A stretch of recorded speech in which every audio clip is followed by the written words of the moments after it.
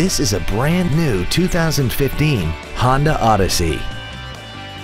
This minivan has an automatic transmission and a 3.5-liter V6.